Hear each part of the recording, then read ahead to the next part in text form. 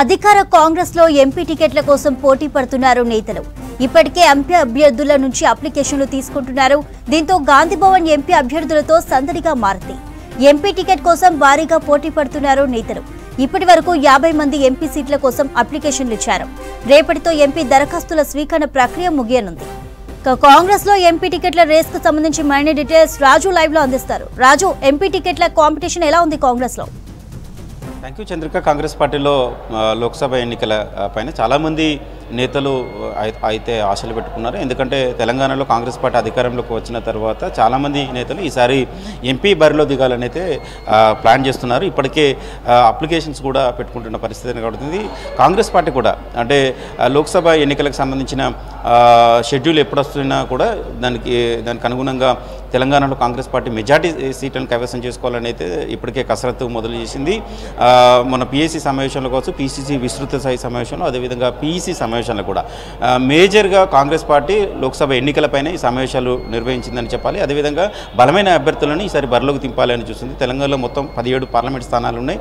పదిహేడులో మెజార్టీ స్థానాలు అంటే పదికి పైగా స్థానాలను కైవసం చేసుకోవాలని అయితే భావిస్తుంది. కొంతమంది పిసిసి నేతలు అయితే పదిహేను స్థానాలను కూడా కాంగ్రెస్ పార్టీ దక్కించుకుంటుందని కూడా చెప్పారు. అదేవిధంగా ఇన్ఛార్జ్ దీపాదాస్ ము- మున్షి మాత్రం పదిహేడుకు పదిహేడు స్థానాలను కాంగ్రెస్ కైవసం చేసుకోవాలి తెలంగాణ పార్టీలో. ఎందుకంటే తెలంగాణలో కాంగ్రెస్ పార్టీ అధికారం ఉంది కాబట్టి క్యాడర్ కావచ్చు నేతలు కావచ్చు అందరూ కలిసి గట్టిగా పనిచేస్తే ఈజీగా పదిహేడు స్థానాలు కూడా కైవసం చేసుకుంటాము అనేది కూడా దీపదశ్ మున్షి కూడా చెప్పడం జరిగింది. మొన్న రీసెంట్గా బూత్ స్థాయి సమావేశం జరిగినప్పుడు ఎల్బీ స్టేడియంలో బూత్ స్థాయి సమావేశం జరిగినప్పుడు దీపదాస్ మున్షి ఇదే మాట చెప్పారు.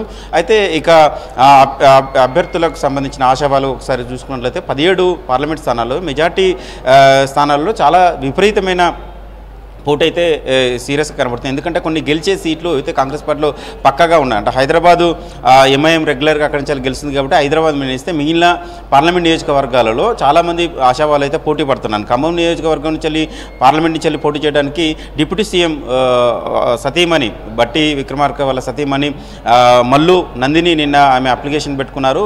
ఖమ్మం పార్లమెంటు సీటు తనకు కేటాయించాలని. అదేవిధంగా ఖమ్మం జిల్లాకు సంబంధించిన పొంగిరెడ్డి శ్రీనివాసరెడ్డి వాళ్ళ సోదరుడు ప్రసాద్ రెడ్డి కూడా అప్లికేషన్ పెట్టుకున్నారు. మొన్న రీసెంట్గా ఏఐసిసి ప్రెసిడెంట్ మల్లికార్జున ఖర్గే హైదరాబాద్కి వచ్చినప్పుడు ఎల్బీ స్టేడియంలో వచ్చినప్పుడు ఎల్బీ స్టేడియంలో మీటింగ్ సమయంలో కూడా పొంగులేటి శ్రీనివాస్ రెడ్డి వాళ్ళ సోదరుని తీసుకుపోయి ఆయనకు పరిచయం చేయడం జరిగింది. ఖమ్మం సీటు తన సోదరుడికి ఇవ్వాలి అక్కడి నుంచి పోటీ చేస్తాడని కూడా అక్కడ కోరడం జరిగింది. వేదిక మీద నుంచి కోరడం జరిగింది. ఇక మిగిలిన నేతలు కూడా ఖమ్మం జిల్లాకు సంబంధించిన కాంగ్రెస్ పార్టీ సీనియర్ నాయకురాలు సీనియర్ నాయకురాలు మాజీ కేంద్ర మంత్రి రేణుకా చౌదరి కూడా ఖమ్మం పార్లమెంటు సీటు కావాలని అయితే డిమాండ్ చేస్తున్నారు. దాంతోపాటు కాంగ్రెస్ సీనియర్ నాయకులు మరొక సీనియర్ నాయకులు విహెచ్ కూడా ఖమ్మం సీట్పై ఆశలు పెట్టుకున్నారు.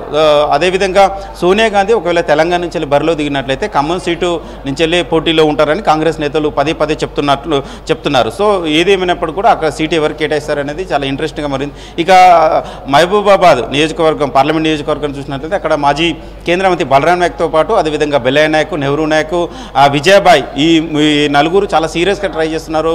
బలరాం నాయక్ అయితే ఈసారి కూడా తనకి పార్లమెంటు టికెట్ కేటాయించాలని కూడా ఆయన కూడా కోరడం జరుగుతుంది. ఇప్పటికే బెల్లయ్య నాయక్ అదేవిధంగా బలరాం నాయక్ కూడా దరఖాస్తులు పెట్టుకున్నారు. ఇక వరంగల్ పార్లమెంట్ నియోజకవర్గానికి చాలా మంది పోటీ పడుతున్నారు. డజన్ పైగా నేతలు వరంగల్ ఆ, పార్లమెంట్ నుంచి వెళ్ళి పోటీ చేయాలని అయితే భావిస్తున్నారు. ప్రధానంగా అక్కడ లోకల్ నేతలతో పాటు స్థానికేతలు కూడా అక్కడ పోటీ చేయడానికి ఇంట్రెస్ట్ చూపుతున్నారు. ప్రధానంగా అద్దంకి దయాకర్తో పాటు అదేవిధంగా సర్వే సత్యనారాయణ వీరితో పాటు అక్కడ లోకల్గా గతంలో ఎంపీగా పోటీ చేసిన సిరిసిల్ల రాయ అదేవిధంగా దొమ్మటి సంబయ్య దాంతోపాటు పులి అనిల్ పులి అనిల్ అదేవిధంగా స్టేషన్ గన్పూర్ మొన్న రీసెంట్గా పోటీ చేసి ఓడిపోయిన ఇందిరా కూడా పార్లమెంట్ సీట్ నుంచి వెళ్ళి పోటీ చేయడానికి ఇంట్రెస్ట్గా చూపుతున్నట్లు ఆమె కూడా చెప్పారు. దీనిలో ఇప్పటికే నలుగురు ఐదుగురు అప్లికేషన్స్ పెట్టుకున్నారు. సో మరి అక్కడ ఎవరికి ఇస్తారనేది చూడాల్సి ఉంది. మరోవైపు ఇటు భువనగిరి నుంచి వెళ్ళి చూసుకున్నట్లయితే భువనగిరి నుంచి వెళ్ళి PCC PCC vice president Chamala Kiran Kumar Reddy అదేవిధంగా తీన్మార్ మల్లన్న కైలాష్ నేత దాంతోపాటు కొమ్మూరు ప్రతాప్ రెడ్డి ఈ నలుగురు నేతలు కూడా పార్లమెంటు భువనగిరి పార్లమెంటు సీటు ఆశిస్తున్నారు. ప్రధానంగా తీన్మార్ మల్లన్న కూడా అక్కడ ఉమ్మడి నల్గొండ జిల్లాకు సంబంధించిన చూసినట్లయితే నల్గొండ పార్లమెంటు జానారెడ్డి లేకపోతే వాళ్ళ రఘువీర్ రెడ్డి కావచ్చు అదేవిధంగా ఇతర నాయకులు కూడా అడుగుతున్నారు. అయితే అక్కడ రెడ్డి సీటు కేటాయిస్తే తిన్మార్ మల్లన్నకు అక్కడ బీసీ కింద కేటాయించాలని కోరుతున్నారు. ఇట్లా మిగిలిన పార్లమెంట్ నియోజకవర్గాల నుంచి చాలామంది అయితే ఆశావాలు అయితే దరఖాస్తు పెట్టుకున్నారు. ఇప్పటివరకు అయితే గాంధీభవన్కు యాభై అప్లికేషన్స్ వచ్చాయి. రేపు సాయంత్రంలోగా అప్లికేషన్స్ గడువు ముగిసే అవకాశం ఉంది. దీంతో రేపు కూడా మరిన్ని అప్లికేషన్స్ వచ్చే అవకాశం ఉన్నట్లు గాంధీభవన్ వర్గాలు చెప్తున్నాయి.